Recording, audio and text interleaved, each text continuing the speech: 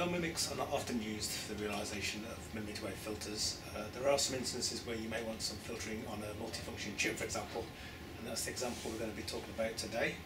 Um, we have a design for an E-band mixer, um, which now requires the introduction of an LO buffer amplifier. Now the LO is uh, half the frequency because it's a subharmonically pumped mixer.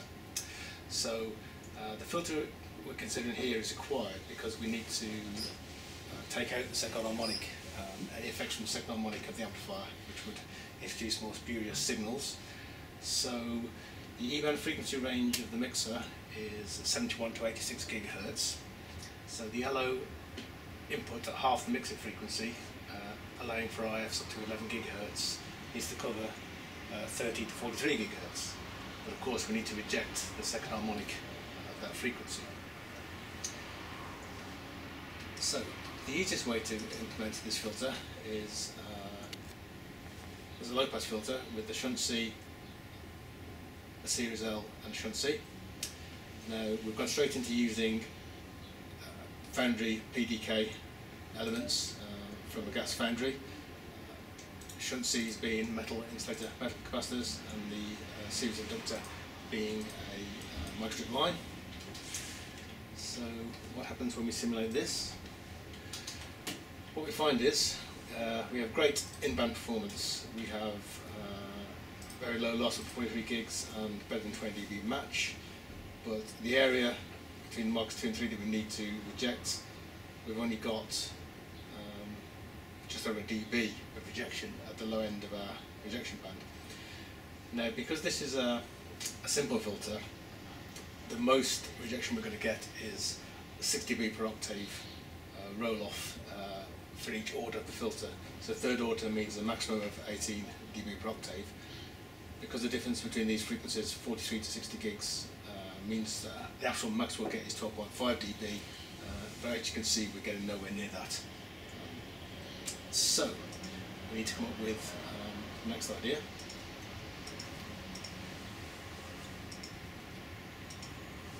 What we're going to introduce now is a Series L series with each of the shunt capacitors um, to give us uh, some notches in the rejection band.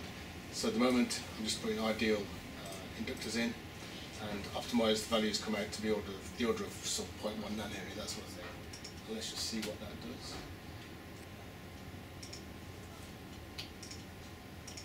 I'll put the history on, do a sweep, and what we see is immediately got the same sort of in-band performance, still got a 20 dB match, but we've now got history of a good deal of reflection, uh, rejection, almost 20 dBs across the whole band. So the next stage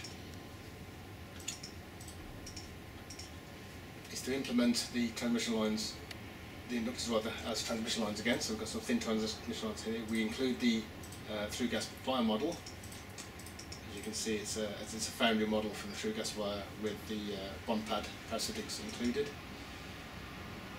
You may not have noticed, but the values of the shunt capacitor are coming out very small, possibly too small for a practical implementation, so I'm going to replace the shunt capacitors with two series pairs to allow us to use slightly bigger values. I'm going to simulate this one, and again, we get the desired performance we need. Greater than 20 dB match, very low loss, and almost 20 dB rejection across the uh, 60 to 86 gigahertz band.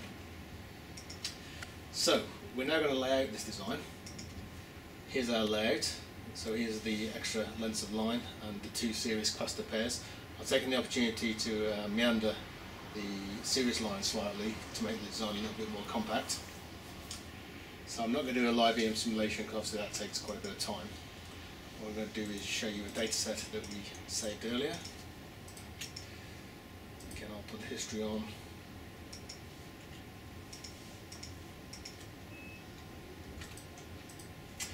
What you now see is that immediately uh, the parasitics etc have messed up the uh, return loss in band. It's almost 15 dB but nowhere near as good as it was. Uh, and although rejection is fine at the top end of the band, the rejection at the low end of the band, take the history off, has deteriorated to 15 dB and we're on a losing slope there. So what can we do about this? what we do is compare our schematic simulation against the EM. So if we do this, what we see is it's not bad, but it's not perfect. What we can do is optimize the schematic such that we exactly model the performance. So again, if I switch the history on, do a sweep, history off, what you see is now now have a very good fit, almost perfect on S21, but certainly perfect on the two reflection coefficients. Uh, what the optimizer has done is basically reduce all the lengths slightly. Now, because we're uh, essentially reverse engineering a pure EM simulation, whatever happens here, i.e. the lengths reduce, in practice we need to uh, do the opposite, i.e. increase the lengths, etc., uh, to bring our performance into the original desired performance.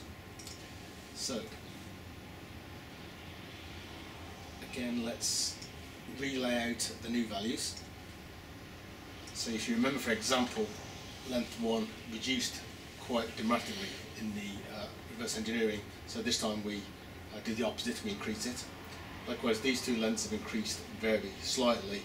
Um, I've taken the opportunity to add the increase in this length in terms of a, a bend to keep it away from some more components that will be over here in the multifunction bearing design.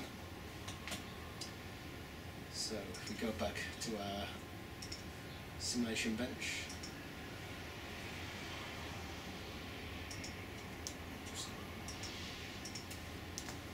history on and do our new EM simulation dataset. What we find is immediately we get back to our 18, 19, 20 dB uh, return loss in band and to the history of our rejection is back to 19 dB across the whole band. So,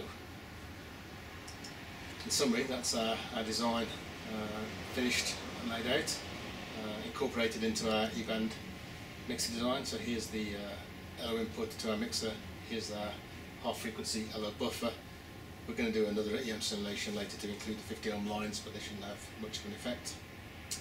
So that concludes the design of our uh, filter for use in the uh, E-band mixer. Uh, if you want any more further information on silicon or gallium arsenide or GaN MMIC design, please visit our website www.plextekrfi.com.